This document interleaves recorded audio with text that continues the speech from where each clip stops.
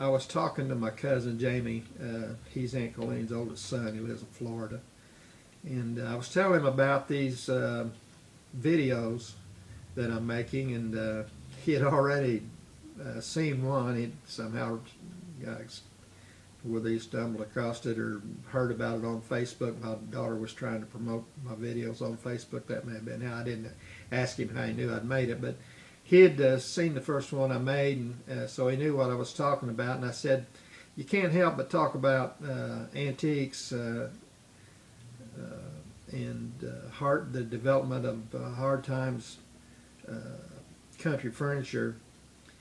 without mentioning your mom and so I said uh, she comes up a lot she probably mentioned in that first video several times and she comes up in about every one of them I could have named these videos uh, the Aunt Colleen Chronicles but I didn't uh, but the reason I was trying to get a hold of um, my cousin was he, he's got a lot of old family pictures and I wanted to ask him if he had uh, some pictures of Aunt Colleen that he could send me because I knew I could use them from time to time in the videos.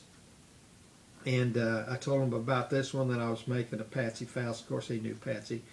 And uh, he said, I got a great picture for that. He said, I've got a picture of Mom and Patsy uh, standing in a creek when they were girls.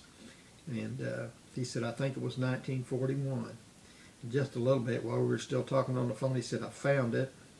And he said, uh, it was 1943. I was wrong, but it was 1943. So both of them were born, I think, in 1925. So this is Patsy Foust and uh, my Aunt Colleen uh, standing in the creek. I don't know where it is, but I'd guess Owensburg. You can see part of where it is up behind them on the on the bank there. But they're standing barefoot in the creek when they're about 18 years old.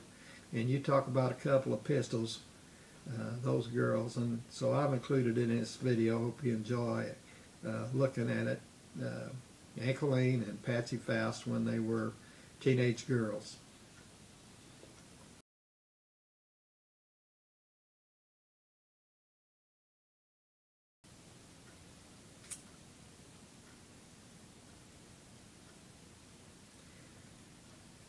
Another thing, uh, Aunt Colleen often uh, worked in the antique shop for Patsy.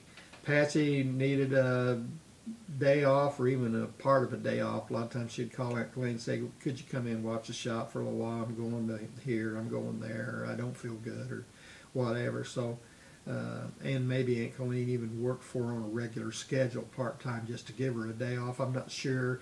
I just know that Aunt Colleen worked in the Union Mule uh, on some kind of a regular, irregular basis for Patsy. And there was a lot of times that I went by there and Aunt Colleen was in there. And sometimes you couldn't tell whether she was in there working or she just in there uh, visiting with Patsy. Uh, because sometimes they both worked at the same time. Uh, maybe whenever there was a sale going on or it was a busy weekend or something, she'd have Aunt Colleen come in and work with her. But other times Aunt Colleen would just work the shop by herself, and so uh, both of these women, uh, their love for antiques, uh, and my association with them uh, as a young man, and right up until I was uh, not so young anymore, and they were old ladies, and uh, they had a great influence on what I like in antiques and uh, my appreciation of all things old.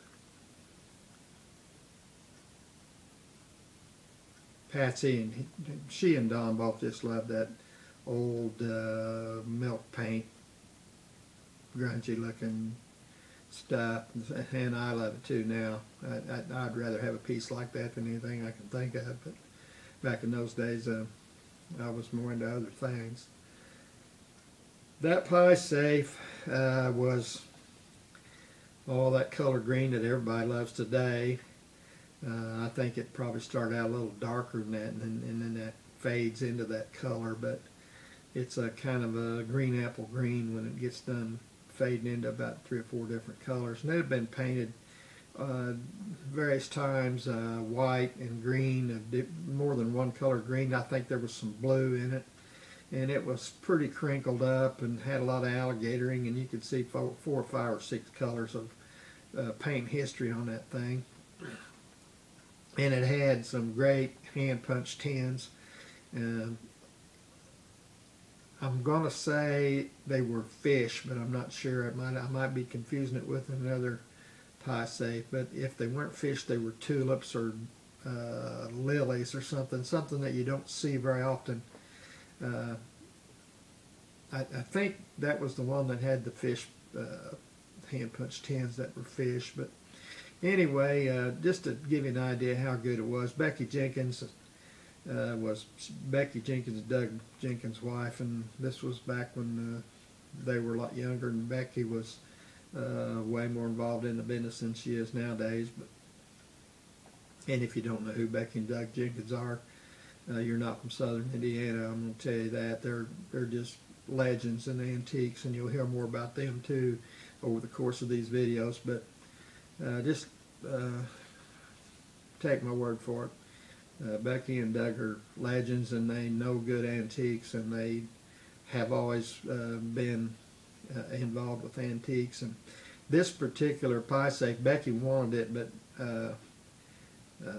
and was trying to buy it, and she was in there. You know, I wasn't in there every day. I told you I went into the, the Union Mill usually about once a week. Sometimes maybe I'd stop in just to look around.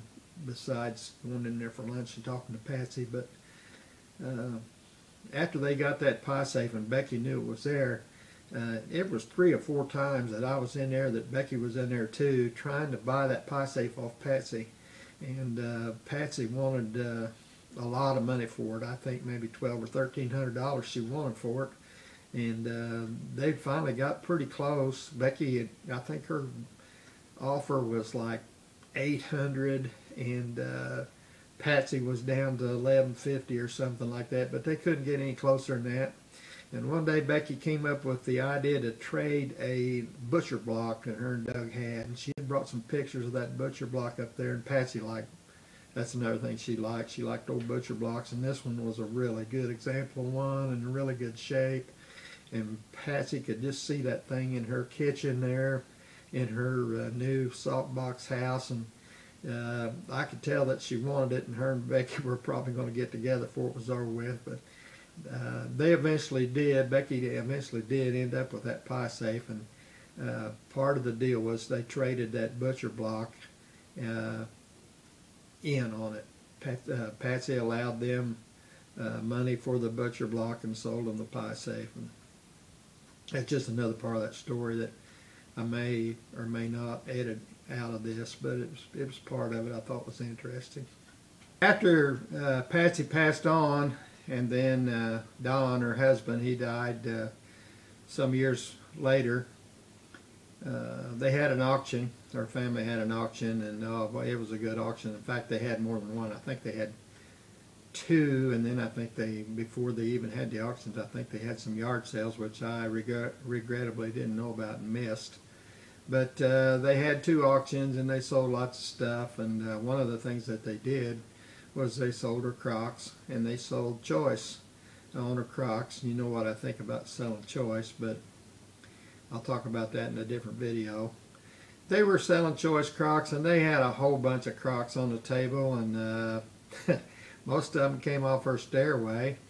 Uh, but there were some others too, some bigger ones with some more elaborate uh, markings on them and but they were almost all the old gray crocks with the blue markings on them. And I cringe to think that uh, I probably sold her uh, 15 or 20 of those myself because I think the cheapest one they sold that day brought like $135, something like that. And the most expensive one they sold that day brought $3,000. Now it was a big one and I never sold her, uh, you know, it was about uh, yay tall. And uh, had advertising on it, and I'm sure I didn't sell that one to her. But it brought $3,000, and then the next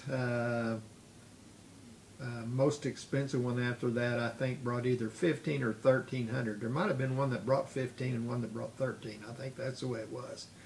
But uh, they were all a little bigger than any of them that I'd ever sold her, so I don't have to regret selling her something for uh, forty dollars that brought three thousand dollars. uh, anyway.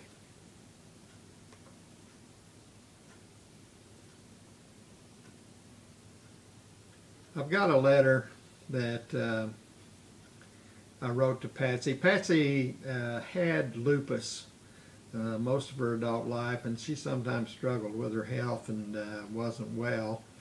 Uh, and then towards the end uh, of her life, she it, things got her down pretty easy, and so she was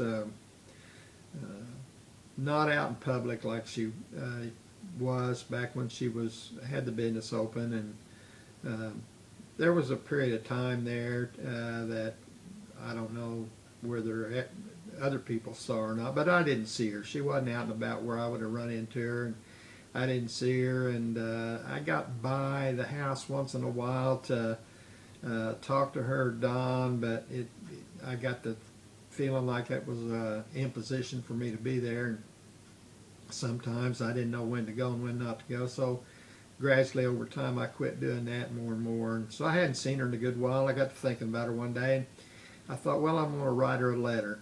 And uh, I did write her a letter.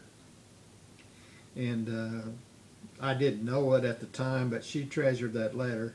After she passed on, uh, talked to me, and he said, I'm going to uh, read your letter at the at Patsy's funeral. I said it, I'd, I'd forgotten about the letter actually, and I said, read my letter. And he said, yeah. He said, in fact, I'd like for you to read it if you would. And so I said, well, what is it? And he had it in his shirt pocket, all folded up. And he said, Patty, Patsy kept this uh, since you wrote it to her. She's had it that whole time, and she said, uh, I'd like for you to read it at her funeral. So I agreed to that, and I've got a copy of the letter here. I had it on my computer and looked it up the other day and uh, I'm going to read it uh, to you.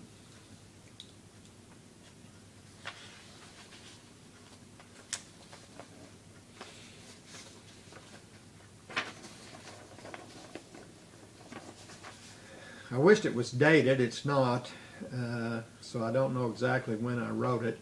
I know she died in 2015, so it's sometime before that, probably, I'm going to guess around 2013 or 14 says, Patsy, you came to mind this morning and I realized I haven't seen you for quite a while. I finally recall, uh, recalled many sojourns to the Union Mule with my fish sandwich, and I realized that I had never, pardon me, I realized that I'd never actually expressed what a friend you have been and how much I appreciate the friendship of both you and Don.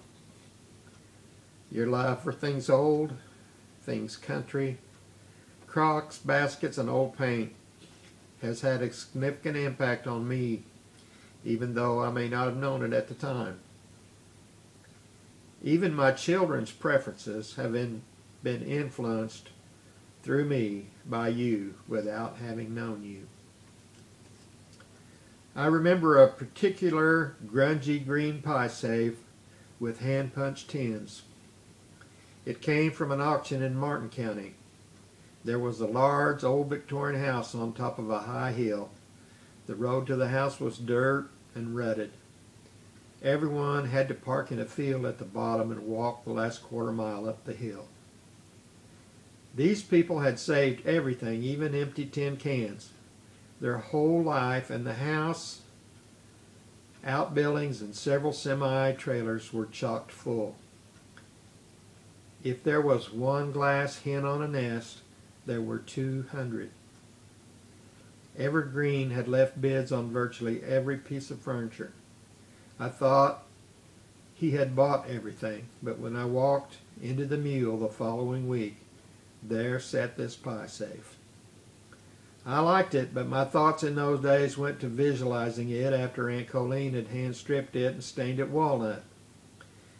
You tried to convince me that it was much better because of those layers of old paint, but I wasn't buying it. You eventually sold it to Becky Jenkins. Today, I like to think that Don rescued that from Everett in a strip tank, and it is somewhere being loved, as you loved it, for its green paint rather than in spite of it.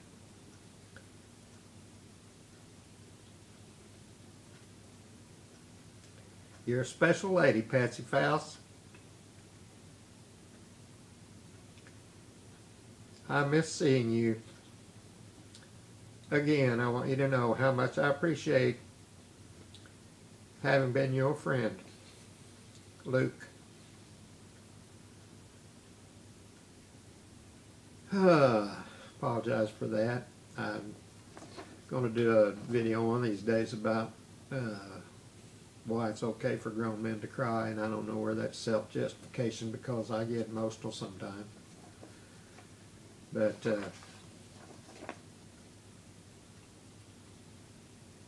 as you can tell, Patsy Foust was not only my Aunt Colleen's friend, but her and Don were my friends as well.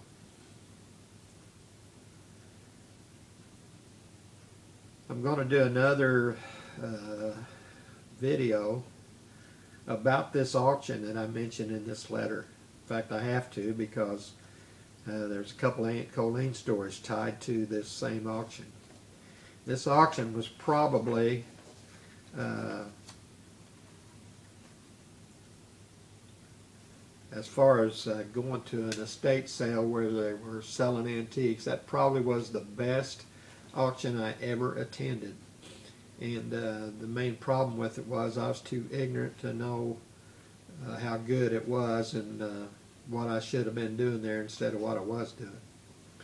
But it was an auction that impressed me, and I'm going to do a video. I'm going to do at least one that mentions it again because I, I, it's, like I said, there's a couple Aunt Colleen stories tied to that auction. Uh, but I, I may do uh, a video one of these days just about that auction because there's lots of stories to tell about it and uh, the things that I saw there and the things that I uh, remember from it. In fact, it'll probably be uh, in that auction I keep promising about selling choice uh, because it had some funny incidents about selling choice as well as some of the other stories that are associated with it. I've daddled around long enough about this. About this, I need to get on with uh, Patsy and Don and and uh, and Colleen.